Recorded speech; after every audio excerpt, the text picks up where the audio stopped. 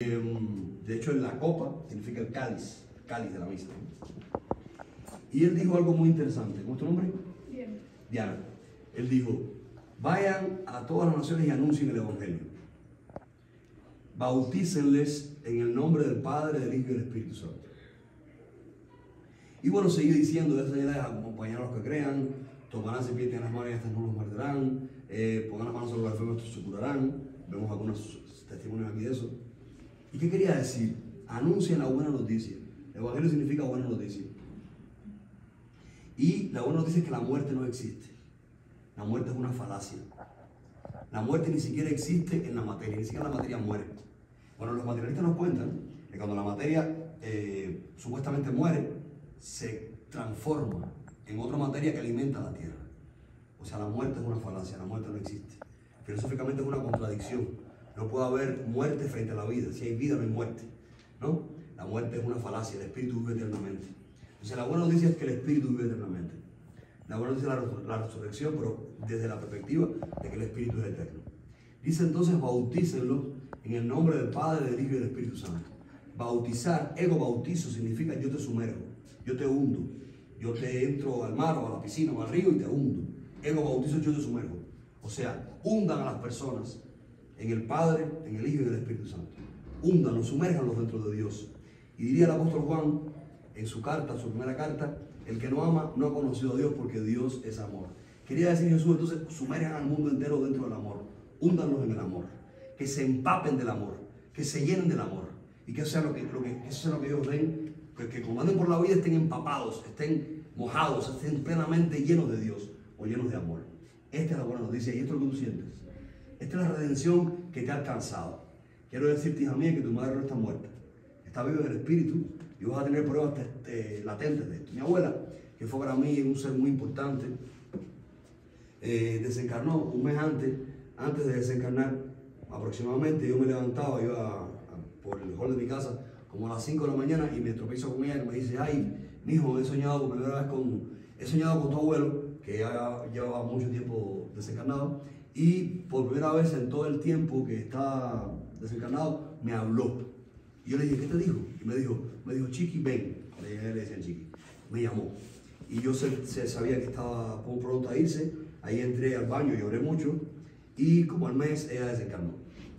Yo en la noche que ella desencarnó estuve bien, bien compungido, bien, me, me dolió mucho. Y pasaron unos días. Y a los días yo estaba dormido y tuve un sueño. Un sueño. Eh, supuestamente es un sueño. Bueno, mi abuela se apareció delante de mí, había una luz muy grande que la envolvía. Ella vino, sin decir una palabra, me abrazó, me abrazó, fuerte, fuerte, fuerte, fuerte. Yo sentí una alegría muy grande, muy grande, muy grande, muy grande, una alegría que me colmó, que me llenó, porque cuando Dios está presente, hay alegría, hay felicidad, hay compañía, hay confort. Es algo que tú sientes que te transforma, que te, que te llama, que te jala. Este es el mayor, el mayor sentir. Donde Dios está, está la paz. Y donde está la paz, está ese confort que trasciende este más acá. Es una cosa muy grande que se experimenta aquí adentro del ser, que es la conexión justamente del self, del ser que somos, con la conciencia que tenemos en este más acá. Bueno, pues ella me abrazó fuertemente. Y yo desperté, después se alejó, se perdió en esa luz y yo desperté. Cuando yo desperté, yo eh, sentí una alegría muy grande. Que bueno, no estaba, había muerto supuestamente para este mundo, y no estaba, pero es una alegría muy grande, muy grande, muy grande, muy grande. Una alegría que no tenía explicación. No podía explicártelo, no puedo explicártelo cómo, cómo es esa alegría desde este más acá, porque es incomprensible. No la encuentro en los libros de biología, no la encuentro en los materialistas, es incomprensible. Pero una alegría inconmensurable, inmensa. Al cabo del tiempo leí en el libro de los mediums, donde Alan Kardec cuenta del último abrazo. Bueno, pues existe un fenómeno interesante que lo vas a pasar con tu mamá.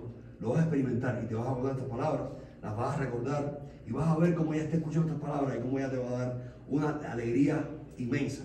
Bueno, pues existe el último abrazo. El último abrazo es cuando el espíritu del familiar que desencarna se presenta delante de nosotros, nos abraza y nos dice todo está bien, estoy en el mejor lugar.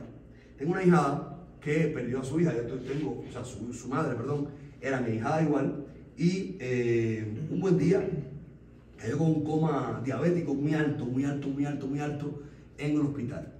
Tan alto que nadie sobre- sobrevive, desde los conceptos de este más acá, a ese coma diabético. Estaba el azúcar muy alto. Pero ella, gracias a la intercesión de algunos seres y de lenguaje, que es ángel de la guarda de esta hija mía, pues ella logró superar el coma diabético, aunque quedó con una eh, hemodiálisis, con hemodiálisis porque su riñón infartó. Y entonces ya así estuvo durante mucho tiempo. Durante mucho tiempo estuvo, la tuvimos ahí presente. Un buen día, esta hija mía le da una fiesta al Espíritu Francisco y él se presenta y le dice, ya prepárate porque tu madre se va a ir, se va a despedir de, ti, de la tierra. A los tres meses justamente de, este, estas palabras del Espíritu, su madre desencarnó. Ella quedó tremendamente destrozada. Ella, su hermana, su padre quedaron muy destrozados. Imagínense, llevaban años cuidándola, llevaban años intentando eh, superar este conflicto de diálisis hasta que ya desencarnó. Eh, antes de esto, su mamá le contó que en el momento de la, del coma diabético, recuerdan aquel coma diabético altísimo, su madre le contó que ella estaba, ella se iba y estaba en un lugar muy lindo y tenía mucha paz. Y le preguntaron si ella quería regresar a la tierra, a donde estaba con sus hijos.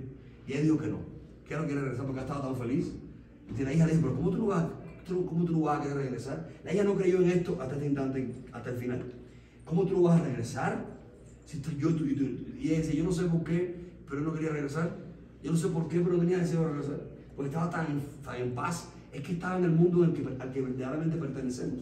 No pertenecemos a este más acá. Pertenecemos a ese mundo de la conciencia. Eh, un gran idealista, el padre del idealismo que era Sócrates, un gran filósofo, decía, decían los idealistas, que venimos al mundo de las ideas. Y después regresamos al mundo de las ideas. Lo decía de esta manera, pero evidentemente ya, ya atisbaba, ya tocaba, ya tanteaba, ya estaba seguro de esta realidad espiritual a la que pertenecemos. Somos seres espiritual, espirituales con una experiencia material. No somos seres materiales con una experiencia espiritual. Somos seres espirituales con una experiencia material para superar determinadas cosas. Ya entenderemos el camino, en el andar, para qué estamos aquí y por qué estamos aquí. Bueno, pues entonces llegó el momento en que ya yo sabía que iba a desencarnar, pero tenían esperanzas que podía salir del hospital. Estaba en, una terapia, estaba bien grave, y yo fui a orar por ella, y cuando llegué ya ella no estaba ahí. Yo sentí que no estaba ahí, ya oré por ella, pero se había ido, el cuerpo estaba ahí, pero ya cuando yo me fui, a los pocos minutos de haberme ido, ya ella dio signos de haber desencarnado. Bueno, pues yo estaba en mi casa y eh, como si estuviera flotando en el aire, la vi, se me presentó y empezó a conectar, y se conectó conmigo y sin hablar, sin gesticular palabras, solamente a, nivel de la conciencia, empezó a contarme cómo le estaba yendo, dónde estaba y qué mensaje le daba a sus hijas. Yo tuve el privilegio inmenso de poder escuchar un espíritu en estado de gracia, en un estado de plenitud total, que me contaba, que le dijera a sus hijas cómo estaba, que le contaran a las hijas cómo estaba cada una de ellas. Yo pude escribirle a mi hijada cómo estaba ahí, cómo estaba su hermana, cómo estaba su padre, si yo estaba presente, porque ella me lo estaba diciendo. Esto fue el, signo físico de que la hija creyera que yo estaba en contacto con, el espíritu de la madre, porque yo no podía saber determinadas integridades que le estaba contando. Y fue hermoso la experiencia que yo sentí de ese espíritu contándome qué bien y qué feliz estaba en ese estado de gracia. Luego de este testimonio, estas experiencias maravillosas, hija mía, te las cuento para que tengas la seguridad total que tu madre está en estado de gracia, que ella tiene mucho que ver con este momento aquí, con que estés aquí, que ella tiene mucho que ver con esta conversación, que ella tiene mucho que ver porque ella siente tu dolor, ella sabe tu dolor y ella quiere aliviarlo. Aún no tienes tú, aún no tenemos nosotros el conocimiento total, para poder asimilar y entender qué significa el más allá, qué significa el mundo, porque nuestra conciencia espiritual o espírita está dormida y ya despertará, ya despertará. Pero ahora estamos en esta reunión atisbando, tocando, tanteando Gracias por la misericordia de Dios. ¿Qué cosa es el más allá? Y aquí estamos eh, hacinados o ah, convocados, porque estamos convocados a caminar hacia allá. Y mientras más conocimiento adquiramos de esta realidad espiritual y mientras más vivamos en este más acá, según los presupuestos y el orden espiritual, cuando desencarnemos, estaremos más cerca de esa verdad maravillosa que es el mundo espiritual y esa libertad total. Así que voy a estar en paz, que tu madre está en paz y un día lo vas a ver en ese último abrazo en esa experiencia que hoy les narré aquí. ¿Algún otro testimonio? Adelante.